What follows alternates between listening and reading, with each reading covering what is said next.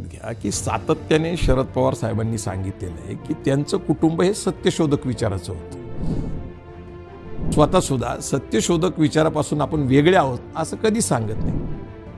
शरद पवारांची जर विश्वासार्हतेचा प्रश्न असता तर मला आश्चर्य वाटतं की लोक त्यांना प्रत्येक वेळेस आमदार का निवडून देत होते? शरद पवारांवर विश्वास ठेवूनच काँग्रेसनी शरद पवारांवर विश्वास ठेवूनच सरकार स्थापन केलं. ही गोष्ट आपण कशी विसरतो? की मोठा मासा छोट्या माशांना खातो. आणि ते सगळ्यात पहिलं कुठल्या माशांना खातो माहिती? ते आपल्याच जातीच्या त्यांची अंडी पिलं खातो. म्हणजे काँग्रेसनी राष्ट्रवादी काँग्रेस गिळली असती. राष्ट्रवादी स्थापनेमागचा मूळ उद्देश काय आहे? की देशाच्या पंतप्रधान पदावर शरद पवारांना बसवायचं. नमस्ते मी योगेश कुटे. लेट्सअप चर्चा या कार्यक्रमामध्ये आपल्या सर्वांचं मनपूर्वक स्वागत. आज आपल्यासोबत आहेत संभाजी ब्रिगेडचे प्रदेशाध्यक्ष मान्य प्रवीणदादा गायकवाड. महाराष्ट्राच्या राजकारणामध्ये आता काही नवीन प्रयोग घडत आहेत राष्ट्रवादी काँग्रेसमध्ये फूट पडलेली आहे. शरद पवार नव्या संघर्षाच्या वाटेवरती आहेत. आणि प्रवीण गायकवाड या संघर्षामध्ये एक आपण एक कॅटलिस्ट म्हणूया अशी एक भूमिका बजावत आहेत. राजकारणाचे अनेक नवीन पदर नवीन जुळणी आपल्याला आगामी काळात पाहायला मिळणार आहेत. एकूणच शरद पवार त्यांचं भविष्यातलं राजकारण आणि त्याला पडद्यामागची ज्या काही घडामोडी सगळ्या सुरू आहेत याचा उलगडा आज आपण या मुलाखतीमधनं करणार आहोत. प्रवीण दादा आपलं मनपूर्वक स्वागत. जय जिजाऊ.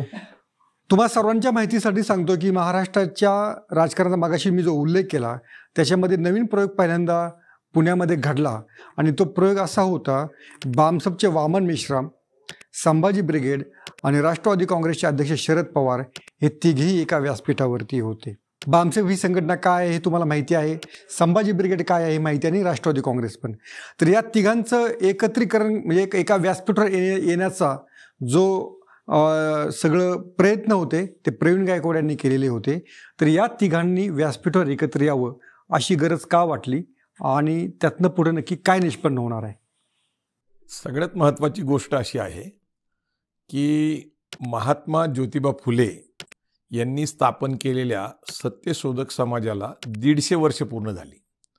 चोवीस सप्टेंबर दोन हजार तेवीसला पुण्यामध्ये अत्यंत मोठा असा भव्य दिव्य कार्यक्रम झाला. महाराष्ट्रातल्या कानाकोपऱ्यातनं लोक आले होते. खरं तर वामन मेश्राम जे आहेत ते बामसेपचे राष्ट्रीय अध्यक्ष आहेत.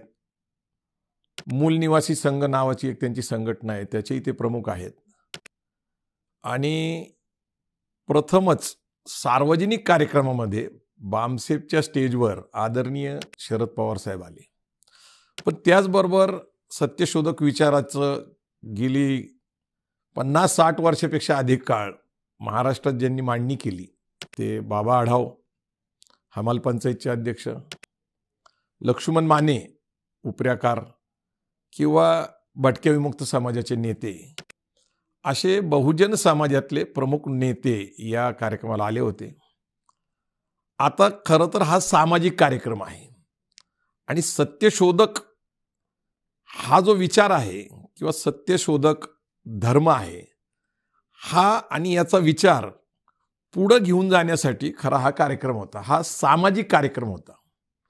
आता नेमकं काय झालंय की देशातली जी राजकीय परिस्थिती आहे. त्याच्यामध्ये जो विचार पुढे येतो तो वैदिक ब्राह्मणी धर्माचा विचार आहे. ज्याला आपण मनुस्मूर्तीचा विचार म्हणतो विषमतेचा विचार मानतो.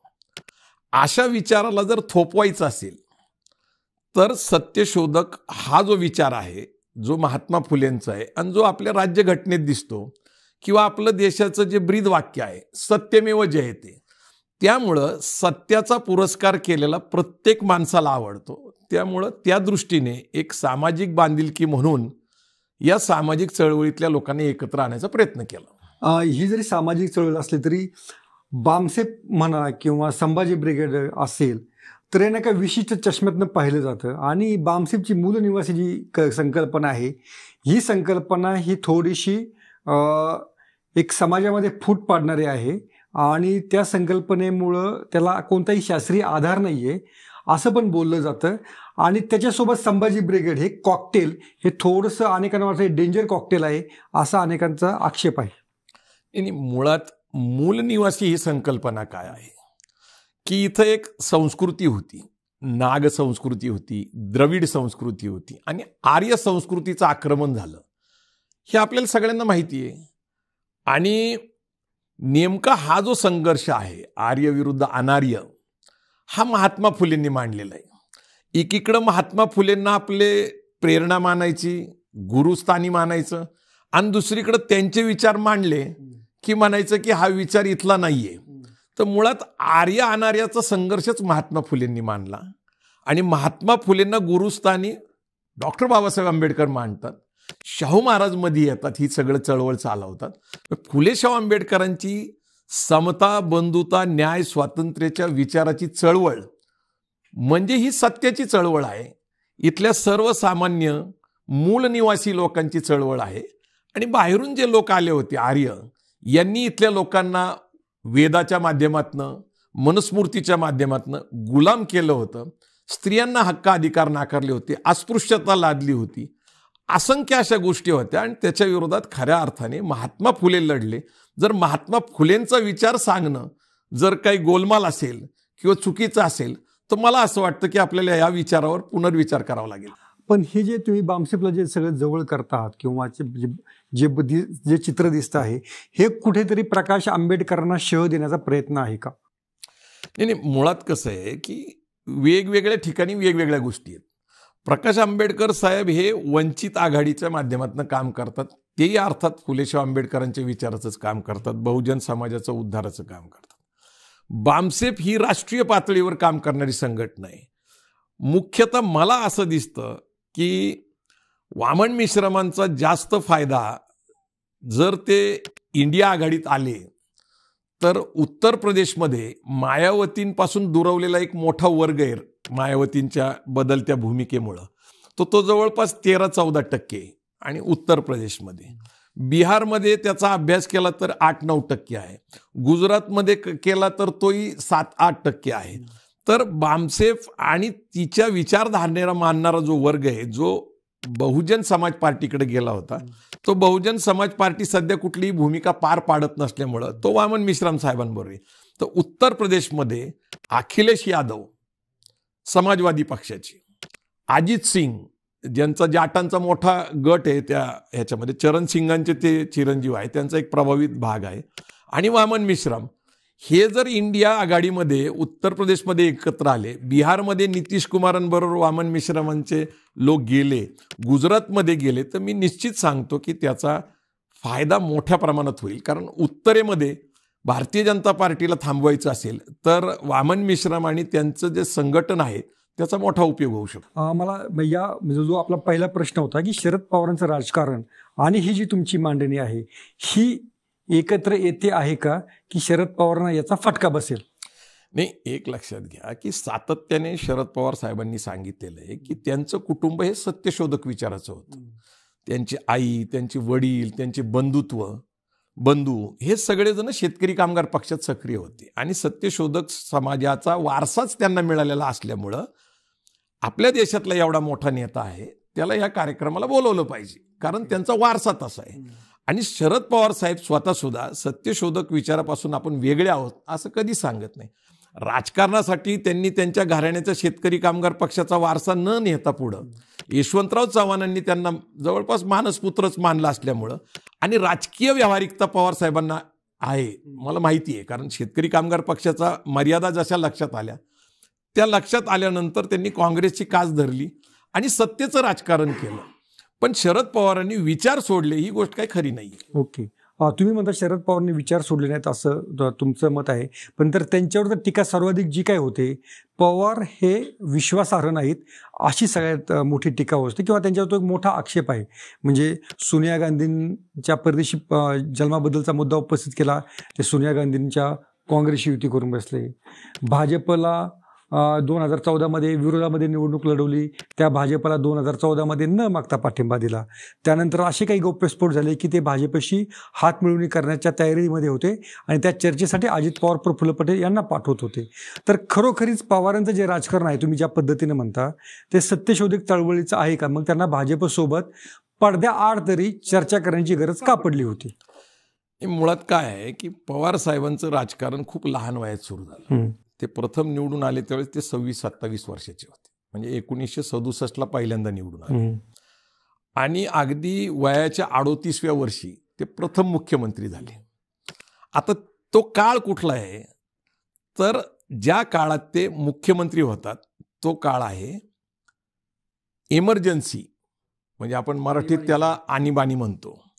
इंदिरा गांधींनी दोन वर्ष आणीबाणी या देशामध्ये आणली. त्यामुळं काय झालं की सगळे विरोधी पक्ष एकत्र आले. जनता पार्टीचं फॉर्मेशन झालं. आणि काँग्रेसच्या आतमध्ये पण वादविवाद झाले आणि दोन गट काँग्रेसमध्ये पडले ज्याला इंडिकेट काँग्रेस आणि सिंडिकेट काँग्रेस म्हणजे इंदिरा काँग्रेस आणि रेड्डी आणि चव्हाणांची काँग्रेस. तर शरद पवार साहेब असतील वसंतदादा असतील यशवंतराव असतील हे एका गटामध्ये होते. महाराष्ट्रामध्ये तिरपुडे नाशिकराव तिरपुडे किंवा अन्य काँग्रेसचे पुढारी जे इंदिरा गांधींबरोबर होते त्यांचा एक गट होता. निवडणुकीत काय झालं की जनता पार्टीचं वारं होतं. नव्वद आमदार जनता पार्टीचे निवडून आले. पण ते कशामुळे निवडून आले नव्वद लोक? तर एमर्जन्सीच्या विरोधामध्ये ते निवडून आले. इंदिरा गांधीच्या विरोधामध्ये ती प्रतिक्रिया म्हणून निवडून आले. सिंडिकेट काँग्रेसचे सुद्धा लोक जास्त प्रमाणामध्ये निवडून आले साठ सत्तर. ते त्याच विचाराच्या विरोधात आले. आणीबाणीच्या विरोधात आले. कारण तेही त्याच्या विरोधात होते रेड्डी काँग्रेस. आता निवडणुका झाल्यानंतर इंडिकेट काँग्रेस बाजूला पडली होती. खरं तर ते विरोधात बसायला पाहिजे. परंतु इंदिरा गांधींचा दबाव जुने काँग्रेसवासी अशा विचाराने एक सरकार स्थापन झालं दोन काँग्रेसचं एकत्र. वसंतदादा पाटील मुख्यमंत्री आणि इंदिरा गांधी गटाचे नाशिकराव तिरपुडे उपमुख्यमंत्री. आता हे आपण सगळेजण सार्वजनिकरित्या ऐकत आलेलो आहे.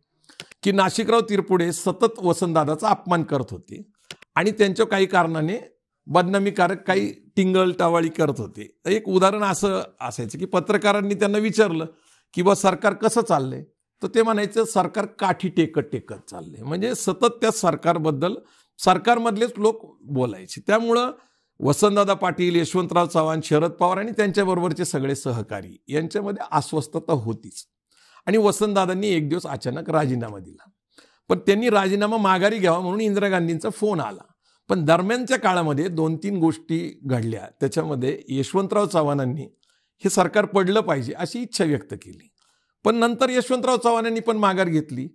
पण मग पुढं हे सगळं गेल्यानंतर आपल्याला माहिती आहे की जे त्या काळातले काही महत्त्वाचे लोक होते त्यांनी असं सांगितलं यशवंतराव चव्हाणांना की आता दोर कापलेले आहेत. पण आता नेतृत्व कोणी करायचं? कारण इंदिरा गांधींची ताकद दुसरीकडे इथलं राजकारण शाश्वत नाही. नेतृत्व करायचा ज्यावेळेस प्रश्न आला तुम्हाला आश्चर्य वाटेल की पुलोदच्या सरकारमध्ये आधी मुख्यमंत्री राहिलेले शंकरराव चव्हाण अर्थमंत्री म्हणून आले होते. तुम्हाला त्याचं महत्त्व सांगायचा प्रयत्न करताय. एस एम जोशींना मुख्यमंत्री होण्याची संधी होती त्यांनी ते स्वीकारलं नाही. मग अगदी अडोतीस वर्षाची व्यक्ती मुख्यमंत्री पदावर येते. आणि मग सगळी जी काही चर्चा सुरू झाली की वसंतदादांच्या पाठीत शरद पवारांनी खंजीर खुपसला. आता इथून आपण सगळा शरद पवारांच्या विश्वासार्हतेबद्दल प्रश्नचिन्ह होतं. पण मुळात विचार करा की अडोतीस वर्षाचा एक तरुण त्या काळातल्या दिग्गज नेत्यांची नावं जरी घेतली तरी आज आपल्याला आश्चर्य वाटतं की एवढे मोठे लोक होते. मग त्यावेळेस ते धाडस करतात. याचा अर्थ काहीतरी यंत्रणा हल्लेली आहेत. आणि बदनामी आपल्या पदरी पडल म्हणून नेतृत्व करायला पुढं कोणी आलेले नाही. पण तरीही शरद पवारांची कार्यक्षमता मान्यच केली पाहिजे. आता ते विश्वासार्ह नसते. शरद पवारांवर विश्वास नसता. तर दोन पक्ष दोन पक्षाचं सरकार पाडल्यानंतर सात पक्षाचं सरकार दोन वर्ष चालवलं ना शरद पवार साहेबांनी. म्हणजे विश्वास कुणी कुणावर ठेवला? म्हणजे जनता पार्टी. शरद पवारांचा समाजवादी काँग्रेसचा गट. C P I C P M Shetkari Kamgar Paksha अन्य काही पक्ष छोटे अपक्ष यांना एकत्र घेऊन दोन वर्ष सरकार चालवलं. ते शेवटी इंदिरा गांधींनी बरखास्त केलं. मग इंदिरा गांधींनी एक लोकशाही मार्गाने आलेलं सरकार बरखास्त केलं त्याच्याबद्दल कुणीच काही बोलत नाही. त्याच्यानंतर शरद पवार निवडून येतात विरोधी पक्षामध्ये. आणि शरद पवारांवर छप्पन लोक निवडून येतात. त्यातले बावन्न लोक आंतोलेंनी फोडले त्यांचे. काँग्रेसमध्ये गेले परत. आता हे सगळा प्रवास बघितला तरी शरद पवार विरोधी पक्ष नेता म्हणून पुढं लढले. तर शरद पवारांची जर विश्वासार्हतेचा प्रश्न असता तर मला आश्चर्य वाटतं की लोक त्यांना प्रत्येक वेळेस आमदार का निवडून देत होते? आता अलीकडचीच तुम्ही भूमिका बघा की सगळ्यात जास्त पवार साहेबांवर बाळासाहेब ठाकरेंनी टीका केली. अनेक प्रकारची टीका केली. ते दोघेही मित्र जरी असले तरी राजकीय विरोधक होते. पण ज्या वेळेस महाराष्ट्रामध्ये भारतीय जनता पार्टी आणि शिवसेनेचं सरकार तयार होत नाही हे लक्षात आल्यानंतर उद्धव ठाकरे हे बाळासाहेब ठाकरेंचे चिरंजीव आहेत जे की आपल्यावर सगळ्यात जास्त जहाल टीका करत होते. त्यांना त्यांनी मुख्यमंत्री केलं आणि उद्धव ठाकरेंनी शरद पवारांवर विश्वास ठेवूनच काँग्रेसनी शरद पवारांवर विश्वास ठेवूनच सरकार स्थापन केलं. ही गोष्ट आपण कशी विसरतो? आणि आज राजकीय परिस्थिती जी आहे मोदींचं पूर्ण बहुमत आहे. चोवीसच्या निवडणुका समोर आलेल्या आहेत. अशा स्थितीमध्ये इंडिया इंडिया आघाडी आणि एनडीए मोदींचे एनडीए खरं तर भाजपच कारण ते तसं एनडीएला कुणाला विचारत नव्हते सात आठ वर्ष. पण इंडिया आघाडी जी आहे देशभरातल्या सगळ्या राज्यस्तरीय असलेल्या पक्षांची आणि काँग्रेसची एक आघाडी बांधली जाते. त्याचं प्रमुख रोल जो आहे तो सिमेंटिंग पॉवर म्हणतो आपण त्याला. ज्यांच्यामुळे हे सगळं जोडलं जातं ते शरद पवार आहेत. आता दुसरा मुद्दा तुम्ही जो उपस्थित केला तो असा आहे की शरद पवारांनी काँग्रेसमधून बाहेर पडून स्वतःचा राष्ट्रवादी काँग्रेस पक्ष काढला सोनिया गांधींवर आरोप केला परकीय नागरिकाचा. हा अर्थात ते बरोबरच आहे. कारण शरद पवार साहेब पंतप्रधान पदाचा दोनदा दावा करतात आणि त्यांना ती अडचण झाली.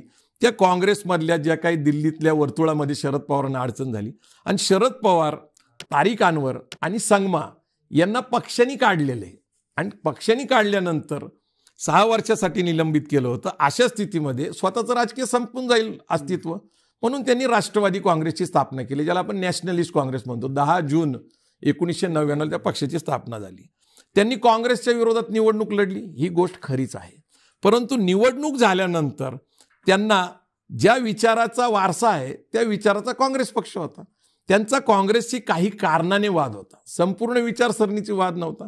म्हणून त्यांनी काँग्रेसबरोबर राष्ट्रवादी काँग्रेसचं सरकार एकदा स्थापन केलं का? नाही. तीन वेळा केलं. आता ह्यातला धोका काय आहे तुम्हाला मी सांगतो की आंतोलेंनी जसे बावन आमदार समाजवादी काँग्रेसचे फोडले होते आणि परत काँग्रेसमध्ये नेले होते जर शरद पवार साहेबांनी Rashtrawadi Congress B J P शिवसेनेचं कदाचित सरकार स्थापन केलं असतं त्यावेळेस तर त्यांचे जे विचाराचे पक्षाचे लोक होते ते कदाचित त्यांनी ते स्वीकारलं नसतं.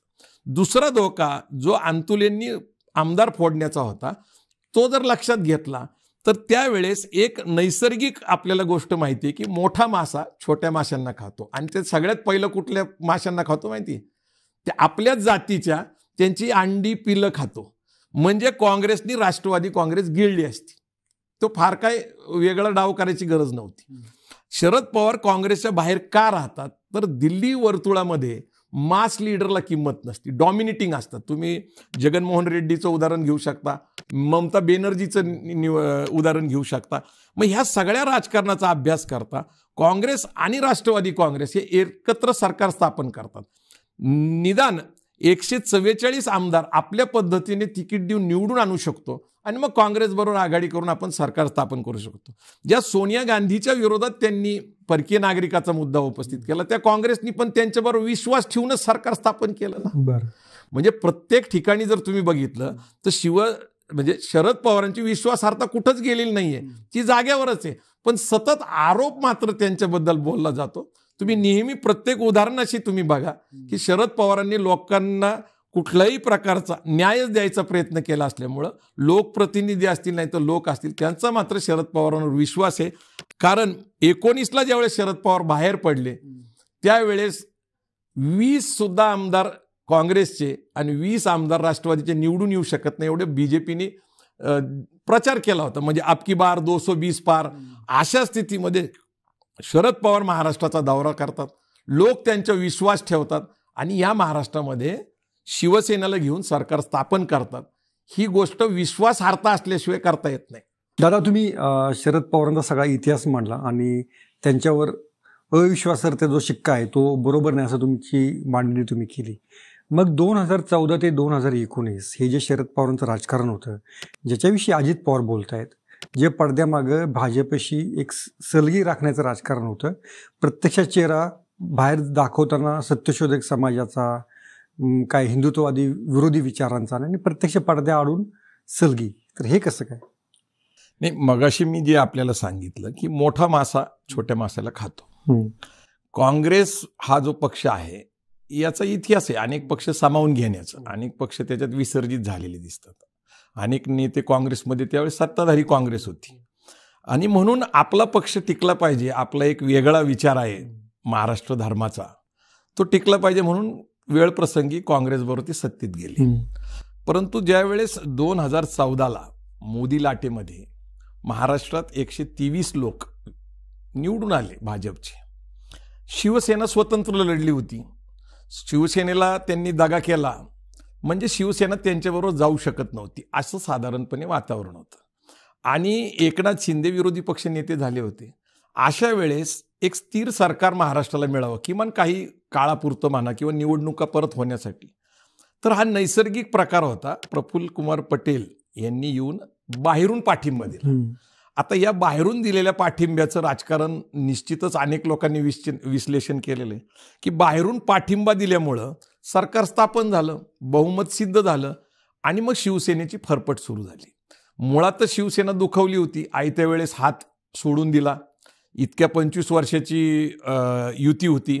पण शिवसेनेला वाऱ्याव सोडला. हा पहिला टप्पा शिवसेनेशी दगा फटका केला असल्यामुळं सरकार स्थापन करण्यासाठी बाहेरून पाठिंबा दिला. ही गोष्ट खरी आहे. परंतु त्यावेळेस ती राजकीय गरज होती. निवडणुकीला समोर जाता येत नव्हतं. आणि मग आपण जे म्हणताय की शरद पवार साहेबांनी सातत्याने बोलणी चालू ठेवली. मी आपल्याला पहिलं सांगितलं की काँग्रेसपासून जसा धोका होता तसं सत्ताधारी भाजप ज्यावेळेस केंद्रात आलं.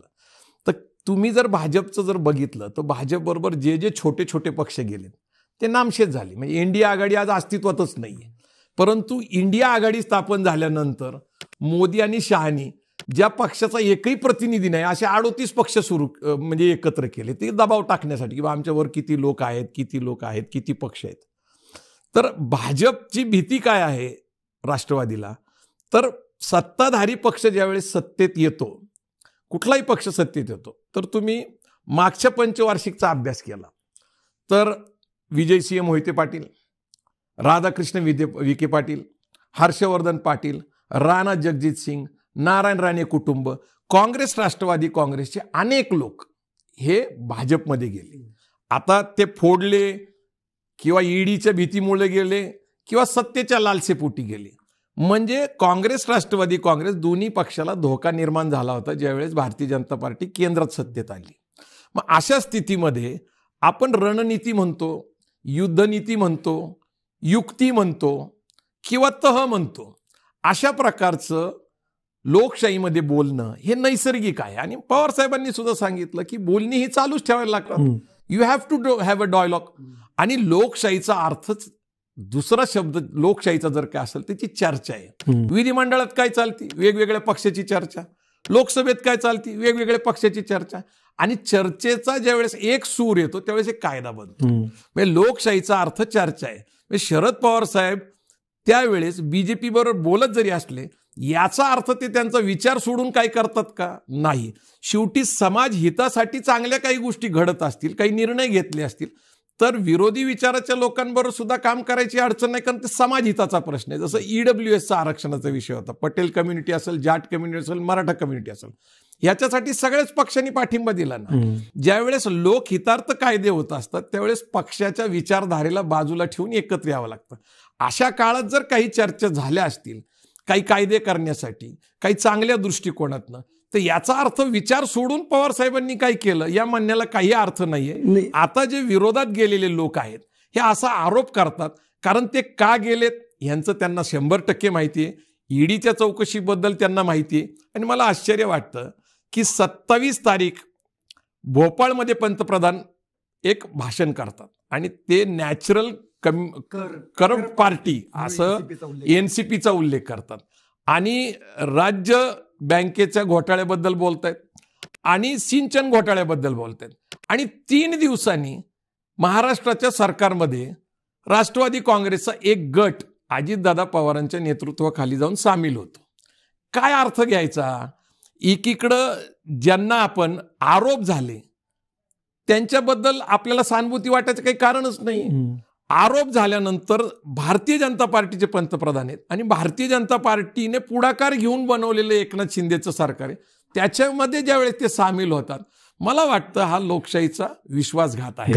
त्याचं कारण असं आहे की एखादा खिसा कापू असेल तर त्याला चोर समजून आम्ही शिक्षा करतो. एखादा दरोडेखोर सापडला तर त्याला आम्ही शिक्षा करतो. काही वाहनांची चोरी करणारे लोक असतात त्यांना शिक्षा करतो. मग आपल्या देशामध्ये एवढा मोठा भ्रष्टाचार झालेला आहे ज्यांच्यावर भ्रष्टाचाराचे आरोप आहेत ज्यांची ईडीची चौकशी चालू आहे सी आय डीची चौकशी चालू आहे रॉची चौकशी चालू आहे अनेक प्रकारच्या इथं चौकशा चालू आहेत. आणि ह्या सगळ्या चौकशा चालू असताना त्या भीतीपोटी आपल्याला आता जेलमध्ये जावं लागेल. बरं जेलमध्ये जाणं का नाही जाणं हा प्रश्न वेगळा आहे पण सत्तेत जाणं मला आश्चर्य करणार वाटतं. ओके. या सगळ्या याच्यामध्ये तुम्ही जो मुद्दा मगाशी मांडताय मला त्या अजित पवारांच्या एक आरोपाकडे यावं लागतं की राष्ट्रवादी काँग्रेसला मुख्यमंत्री पदाची संधी असतानाही शरद पवारांनी दोन हजार चार साली दोन हजार नऊ साली का घेतली नाही ही त्यांच्या मनातली खतखत होती. त्या खतखतीचं उत्तर शरद पवारांचं त्यांचं लॉजिक काय होतं त्याच्या मागचं? एकोणीसशे नव्याण्णवला ज्यावेळेस प्रथम सरकार स्थापन झालं त्यावेळेस विलासराव देशमुख सत्तेत आले. हो. त्यावेळेस सात पक्ष एकत्र केले होते. नारायण राणे यांनी सुद्धा सरकार स्थापनेसाठी प्रयत्न केला होता. परंतु त्यांना काही उद्धव ठाकरेंनी सहकार्य केलं नाही किंवा काही अन्य कारण झालं असेल. तर पण विलासरावच्या नेतृत्वाखाली सात पक्षाचं सरकार होतं. हे आपण प्रथम लक्षात घेतलं हो. पाहिजे. पण विलासरावना एक वर्ष अगोदर राजीनामा द्यावा लागला. ते मुंबईचं प्रकरण घडलं ताज हॉटेल दोन हजार आठ सालचं त्याच्या अगोदर दोन हजार चार ला पहिल्यांदा राजीनामा द्यायला लागला. आपल्याकडे सुशील कुमार शिंदे. हो. सुशील कुमार शिंदे मुख्यमंत्री मुख्यमंत्री. दोन हजार दोनच्या सुमारास. पण राष्ट्रवादीनं मुख्यमंत्रीपद का स्वीकारलं सांगतो हा या अजित पवारांच्या आक्षेपाला तुमचं काय उत्तर? नाही नाही. म्हणजे काय झालं की विलासराव देशमुख पाय उतार झाले. हो. आणि दोन हजार चारला इथं सरकारमध्ये सुशील कुमार शिंदे मुख्यमंत्री आले. त्याच्यानंतर राष्ट्रवादीला सर्वाधिक जागा मिळाल्या. नाही सांगतो ना मी तुम्हाला. म्हणजे मी त्याच्याशी सहमत आहे. प्रश्न काय आहे की राष्ट्रवादी स्थापनेमागचा मूळ उद्देश काय आहे की देशाच्या पंतप्रधान पदावर शरद पवारांना बसवायचं. बर. महाराष्ट्राचं मुख्यमंत्री करण्याचा विषय त्या वेळेस नव्हता पण मी तुम्हाला त्यातलं स्पष्टीकरण देतो की भांडारकर प्राच्य विद्या संस्थेवर कारवाई केली होती संभाजी ब्रिगेडनी. त्याचं कारण अनेकदा अनेकांचा तुम्ही म्हणू शकता.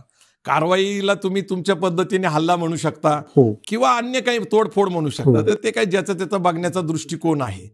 आता खून आणि वध या शब्दामध्ये शेवटी माणूसच मरतो पण शेवटी क्रियेला पाहण्याचा दृष्टिकोन आहे त्याच्यामध्ये. तर दोन हजार चारला एकाहत्तर जागेवर राष्ट्रवादी निवडून आली आणि एकोणसत्तर जागेवर काँग्रेस आली. दोन जागा अधिक होत्या. चर्चा तशा प्रकारच्या झाल्या का? निश्चितच तशा प्रकारच्या चर्चा झाल्या होत्या. पण विलासराव देशमुख हे अत्यंत चाणक्षण हुशार होते. विलासराव देशमुख शंकरराव चव्हाणांचे शिष्य असल्यामुळं कायम शरद पवार विरोधी भूमिका घेतलेली आहे आणि शरद पवार विरोधी विलासराव देशमुख हा संघर्ष झालेला आहे महाराष्ट्रामध्ये. हे आपण पाहिलेलं. आहे आता दोन हजार चारला शरद पवारांना केंद्रामध्ये जे सरकार स्थापन होईल ते यू पी एचं असेल आणि युपीएच्या सरकारमध्ये कदाचित आपल्याला जे काही स्वप्न आहे पंतप्रधान पदाचं ते पूर्ण होऊ शकतं. कारण अनेक पक्षांना शरद पवार चालत होते. आता आपलं लक्ष जर पंतप्रधान पदाचं आहे तर महाराष्ट्राच्या मुख्यमंत्रीपदी विलासराव देशमुखांना का केलं? तर विलासराव देशमुखच जर महाराष्ट्रातनं पूर्ण ताकदीनिशी शरद पवारांच्या मागे खासदार उभे करू शकले नाही म्हणजे राष्ट्रवादी आणि काँग्रेस महाराष्ट्रातलेच खासदारांची संख्या लक्षात घेतली तीस पस्तीस ते जर उभे नाही राहिले तर पंतप्रधान पदांचा शरद पवारांचा जो दावा आहे त्याला धोका होऊ शकतो असं मला वाटतं. ओके. म्हणजे राष्ट्रवादीला मुख्यमंत्री करता आला असता का? निश्चित करता आला असता. पण विलासराव देशमुखांची ताकद लक्षात घेता. आणि महाराष्ट्रात त्यांचा प्रभाव लक्षात घेता. विलासराव देशमुख आपल्या बरोबर पाहिजे कारण आपल्याला आता देशाच्या पंतप्रधान पदावर दावा सांगायचा आहे. मला काही इतिहासातल्या गोष्टी सांगायच्या छत्रपती शिवाजी महाराजांनी सहा जून सोळाशे चौऱ्याहत्तरला आपल्या राज्याची कल्पना मांडली. अहत तंजावर तहत पेशावर अवघा मुलुका आपला. म्हणजे ह्या पूर्ण देशावर मुघल आदिलशाही कुतुबशाही निजामशाहीचं राज्य होतं आणि आता माझं राज्य असेल. त्यांचं स्वप्न पूर्ण झालं. पण ते गेल्यानंतर संभाजी महाराज गेल्यानंतर तारा राणी गेल्यानंतर म्हणजे दोन छत्रपतींनी स्वप्न बघितलं होतं दिल्ली तख्तावर बसायचं. एक छत्रपती शिवाजी महाराज आणि छत्रपती संभाजी महाराज पण ते पूर्ण झालं नाही. महाराष्ट्राच्या समाजकारणात राजकारणामध्ये योगदान मराठ्यांचं प्रचंड मोठं. एकशे दहा वर्ष मराठ्यांचं या देशावर राज्य होतं. मराठ्यांचं राजकारण सगळ्या देशाला माहिती होतं. पण स्वतंत्र भारतामध्ये लोकशाहीमध्ये यशवंतराव चव्हाणांना प्रथम ती संधी आली ज्यांना आपण प्रति शिवाजी म्हणतो. प्रति शिवाजी असलेले यशवंतराव चव्हाणांना संधी आली लाल बहादूर शास्त्री गेल्यानंतर. तर ते गेले इंदिरा गांधींना विचारायला. आणि इंदिरा गांधींना ते म्हणले जर तुमची इच्छा असेल तर मी थांबतो. आणि तिथंच पहिल्यांदा आपली संधी गेली. आता त्यातला चांगुलपणा असेल किंवा चुकीचं धोरण असेल पण यशवंतराव चव्हाण यांनी इंदिरा गांधींना संधी दिली आणि त्यामुळं महाराष्ट्राला पहिल्यांदा देशाचं पंतप्रधानपद हुकलं. त्यानंतर आपण ज्यांना जाणता राजा म्हणतो ते शरद पवारांनी दोन वेळा प्रयत्न केले. दोन्ही वेळे त्यांना अपयश आलं आणि मग सोनिया गांधींचं राजकारण सुरू झाल्यानंतर शरद पवारांना राष्ट्रवादी काँग्रेस पक्ष काढावा लागला. परंतु राष्ट्रवादी काँग्रेस पक्ष काढल्यानंतर सुद्धा या देशामध्ये बहुमत कुठल्याही पक्षाचं येणार नाही. म्हणजे जे काही पक्ष असतील हे कोलिशन गव्हर्नमेंट असेल संयुक्त सरकार असेल म्हणजे एनडीएचं सरकार सुद्धा अटल आघाडीचं सरकार अटल बिहारीचं पण तसंच होतं मनमोहन सिंगांचं सुद्धा तसंच होतं. मनमोहन सिंगची पहिली टर्म पूर्ण झाली. दुसऱ्या टर्ममध्ये आपल्याला निर्माण होईल संधी. आणि काँग्रेस आपल्या पहिल्यांदा ताकदीनिशी उभी राहायला पाहिजे. जर काँग्रेसचं मुख्यमंत्री पद आपण डावललं तर कदाचित पंतप्रधान पदावरचा आपला दावा कमजोर होऊ शकतो. कारण काँग्रेसच्या पाठिंब्याशिवाय आपण पंतप्रधान होऊ शकत नाही. त्यामुळं काँग्रेसला नाखुश करणे शरद पवारांना परवानणार नव्हतं असं माझं व्यक्तिगत मत आहे. तुमचं व्यक्तिगत महत्त्व आहे आणि आणखीन एक असा अजित पवार विषय शेवटचा मी आक्षेप नोंदवतो त्यावर तुमचं उत्तर द्या की तुम्ही थांबणार कधी आहात? असा प्रश्न अजित पवारांनी बंडखोरीनंतरच्या पहिल्या सभेत विचारलेला होता. कधीतरी तरुणांना संधी द्या म्हणजे कधीतरी पक्ष वाढवण्यासाठी इतरांना जबाबदारी द्या असं शरद अजित पवारांचं म्हणणं होतं. तर शरद पवार केव्हा थांबणार आहेत? किंवा खरोखरीच थांबतील का? याचं उत्तर तुम्ही काय द्याल? नाही नाही याच्यात सगळ्यात पहिल्यांदा एक घटना आपण बघितली पाहिजे की आदरणीय शरद पवारांनी राजीनामा दिला होता. म्हणजे ते थांबायची तयारी दाखवली होती त्यांनी. हां. परंतु देशभरामध्ये जे राष्ट्रवादी काँग्रेसचे लोक काम करतात. वेगवेगळ्या पक्षात त्याचं नेत्याचं महत्त्व असतं जसं आता आपण करुणानिधीचं उदाहरण घेऊ शकतो अत्यंत अशक्त. आजारी व्हील चेअरवर बसलेल्या माणसांना मुख्यमंत्री म्हणून चालत होतं. तर कसं असतं की leader has to take decision implementation is the work of system. तर सिस्टीम काम करते ना पवार साहेबांची शेवटी पवार साहेबांचं ज्ञान पवार साहेबांचा अनुभव हा देशाला पुढे घेऊन जाणार आहे त्यांचं वय हा मुद्दाच नाहीये त्यांचं मेंदू अत्यंत शाश्वत आहे. आणि त्यांच्यामध्ये ऊर्जा एका तरुणाची. मग अजित पवार ज्या बाबतीत बोलतायत की मुख्यमंत्री नाईक झालो दोन हजार चारला. मग एकोणीसला सगळे गर्भगिळी झाले होते ना तेव्हा का नाही हे बाहेर पडले परत सरकार आणण्यासाठी शरद पवार तेच तरुण व्यक्तिमत्व आहे ज्यांनी एकोणीसला या देशामध्ये चमत्कार घडवला आणि ठीक आहे शिवसेना कुठल्या विचाराची आहे? काँग्रेस बरोबर आली असती का नसती? पण ते घडवून महाराष्ट्रामध्ये सरकार आणण्याचं धाडस मोदी शहाच्या विरोधात जाऊन जर शरद पवारांनी आणलं त्या शरद पवारांवर आज लोकांचा जेवढा प्रचंड विश्वास आहे तो राष्ट्रवादी काँग्रेसचा चेहरा आहे. ते एकदा थांबले तर राष्ट्रवादी काँग्रेसचं फार दिवस भवितव्य राहणार नाही. ही वस्तुस्थिती जनमानसातल्या प्रत्येक माणसाला माहिती आहे. ते जोपर्यंत हयात आहेत जोपर्यंत ते फिरते आहेत त्यांच्या कुटुंबामध्ये अशी चर्चा चालते की त्यांनी थांबलं पाहिजे. परंतु ते थांबलं तर त्यांचं आयुष्यसुद्धा थांबल. ही एक भीती आहे. ते जोपर्यंत फिरतायत तोपर्यंत ते कार्यरत आहेत तोपर्यंतच त्यांना आयुष्य आहे. ही त्या माणसाची ऊर्जा आहे आणि ती ऊर्जा आहे जनसामान्यातले लोक. ही त्यांची ऊर्जा आहे. ते सतत प्रवास करतात सतत लोकांत जातात सतत चर्चा करतात महिलांची चर्चा करतात तरुणांची चर्चा करतात शेतकऱ्यांची चर्चा करतात. ही त्यांची ऊर्जा आहे. आणि म्हणून शरद पवार सकाळी साडेसहाला ज्यावेळेस बाहेर पडतात अकरा वाजेपर्यंत ते न थाकता आजही एका तरुणाला लाजवल एवढं काम करतात. ओके. पण अजित पवारांच्या बंडाची शरद पवारांना कल्पना होती का? की अजित पवार हे नाराज आहे दोन हजार एकोणीसपासून त्यांच्या लक्षात येत नव्हतं का? नाही एक लक्षात घ्या की अजितदादा पवारांनी देवेंद्र फडणवीस यांच्याबरोबर उपमुख्यमंत्री म्हणून शपथ घेतली होती आणि देवेंद्र फडणवीसांनी मुख्यमंत्री म्हणून घेतली होती. निश्चितच अजितदादांचा कल बी जे पी बरोबर सत्तेत जाण्याचा होता.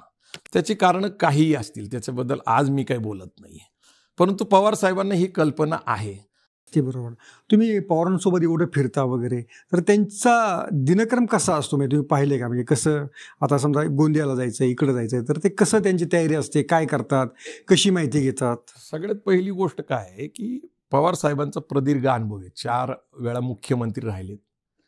केंद्रात दहा वर्ष मन कृषी मंत्री संरक्षण मंत्री केंद्रात विरोधी पक्ष नेते महाराष्ट्रात विरोधी पक्ष नेते. त्यामुळं त्यांचा दिवस साडेपाचला सुरू व्हायचा.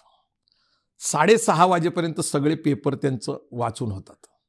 पहिला चहा झाला की साडेसहाला लोक भेटायला सुरुवात करतात. शरद पवार साहेब कुठेही असतील मुंबई असू दिल्ली असू पुणे असू बारामती असू कोल्हापूर असू नाही तर अन्य कुठेही असले तर पहिले दोन तास ते जेही महाराष्ट्रातनं किंवा त्या परिसरातले लोक भेटायला येतात. त्यांच्याशी चांगला संवाद करतात. त्यांच्याकडून सगळी माहिती गोळा करतात. Pawar saheb is the world best listener ते बोलत नाहीत जास्त. म्हणजे आपल्यानंतर लक्षात येतं की साहेब काहीच बोलले नाही. साहेबांचं सगळ्यात चांगली गोष्ट काय? ऐक्यू ते खूप ऐकून घेतात. आणि जनमानसात संपर्कात असल्यामुळं छोट्या छोट्या घटनेंची छोट्या छोट्या गोष्टीची ही त्यांना जाणीव असते. तुम्हाला माहिती आहे की किलारीचा भूकंप त्यांनी किती सुंदर प्रक्रिया हाताळला. म्हणजे तिथं परत ते एक वर्षाचा आत ते पूर्ण परिसर त्यांनी उभा केला. किंवा मुंबईमधली घडलेली दंगल तर ते इथं आले. इथं येऊन मुंबई दुसऱ्या दिवशी सुरू केली. त्याचं त्यांची चतुराई आहे त्यांचं योगदान आहे आणि स्वतः प्रत्यक्ष घटनेच्या ठिकाणी जाऊन काम करण्याची तयारी असलेले हे मुख्यमंत्री आहेत.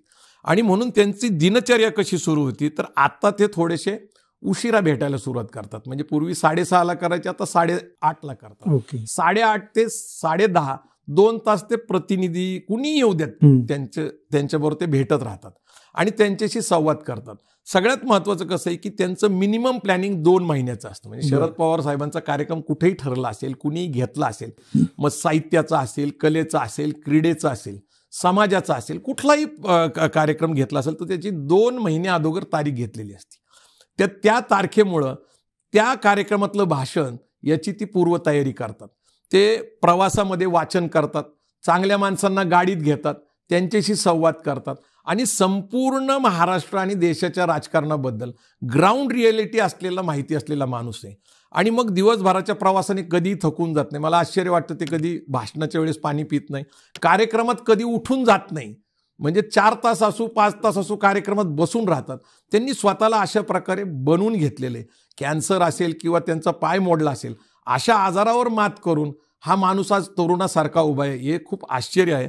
आणि अकरा साडे अकरा वाजेपर्यंत त्यांचं हे काम चालतं आणि मग ते झोपतात. परंतु ज्या वेळेस निवडणूक असते त्यावेळेस ते रात्री तीन चार वाजेपर्यंत काम करतात. हा पूर्ण त्यांचे एकोणीसची मला ती सभा होती. साताऱ्यातली पावसातली सभा. तेव्हा तुम्ही बरोबर पवार साहेबांबरोबर होता. तर पवार साहेबांना अंदाज आला होता सभेचा किंवा काय पाऊस सुरूच होता. नाही त्यानंतर तुमचं काही बोलणं झालं होतं सभेनंतर किंवा बरोबरच होतो मी त्यांच्या. म्हणजे ऍक्च्युली सातारची सभा पावसातच होती. पवार साहेब खरंच भाषण करतील का नाही? असं एक वातावरण होतं. प्रचंड पाऊस होता. गर्दी होती प्रचंड. पण पवार साहेबांनी ते पाच सात मिनिटाचं भाषण केलं. हो. ते प्रचंड व्हायरल झालं. विक्रमी व्हायरल झालं. सगळ्या पेपरनी ती बातमी दिली.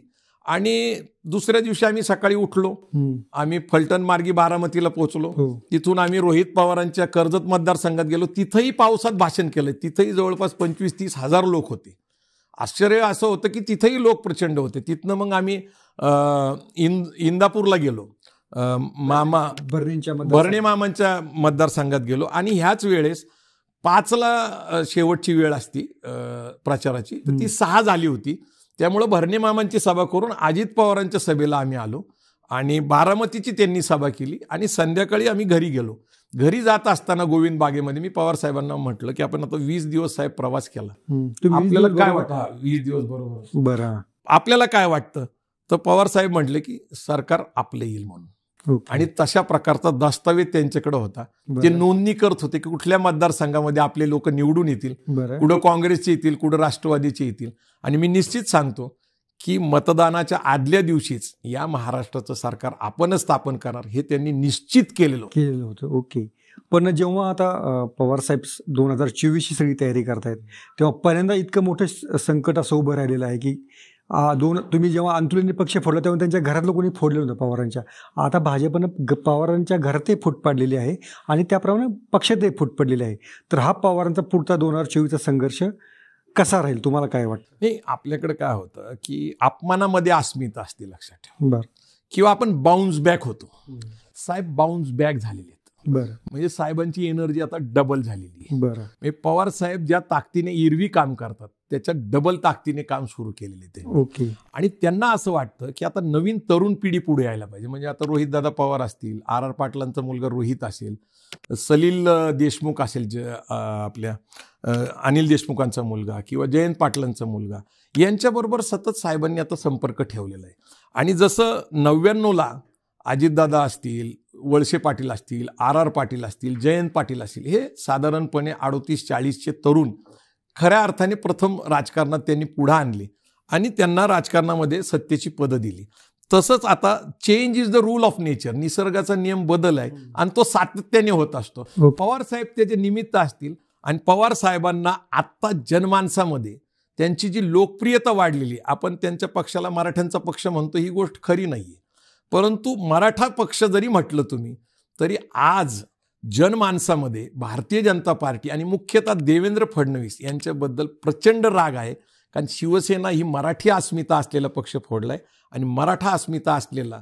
मराठा म्हणजे सर्वसमावेशक. महाराष्ट्रातल्या सर्व जाती धर्माच्या लोकांना मराठा म्हणतो आपण कारण आपल्या राष्ट्रगीतात पंजाब सिंध गुजरात मराठा आहे. म्हणून मी त्या अर्थाने मराठा म्हणतो. या दोन अस्मिता अत्यंत तीव्र आहेत. मराठी माणसाची शिवसेना आणि मराठा माणसांची राष्ट्रवादी हे दोन पक्ष फोडल्यामुळं स्थानिक पातळीवर तुम्ही कुठेही जा प्रत्येक जिल्ह्यामध्ये जा लोकांनी फक्त निवडणुकीची वाटच पाहतायत. देवेंद्र फडणवीस आणि भाजपचा पराभव केल्याशिवाय महाराष्ट्राची जनता थांबणार नाही. कारण इतिहास असा आहे. महाराष्ट्राचा डी एन ए असा आहे. तो दिल्ली पुढे झुकत नाही लक्षात ठेवा. ओके. अस्मिता असलेला कारण छत्रपती शिवाजी महाराजांचं राज्य ते केवढं होतं? मावळ्यांचं ते राज्य केवढं होतं? पण बलाढ्य असलेल्या औरंगजेबाला शिवाजी महाराज ज्यावेळेस आव्हान देतात त्यावेळेस या महाराष्ट्रातले लोक शिवाजी महाराजांबरोबर राहिले. दिल्ली पुढं न झुकणारा आणि अपमान न सहन करणारा. मी तुम्हाला सांगतो की भविष्यामध्ये शरद पवार आणि उद्धव ठाकरे हे जादू करतील आणि हे सत्य आहे. ओके. तर हे होते प्रवीणदादा गायकवाड. अतिशय त्यांनी सखोल आणि चांगलं एक पवारांचं एक राजकीय विचारधारा कशी तयार होत गेली यासाठीचं विश्लेषण तयार केलं.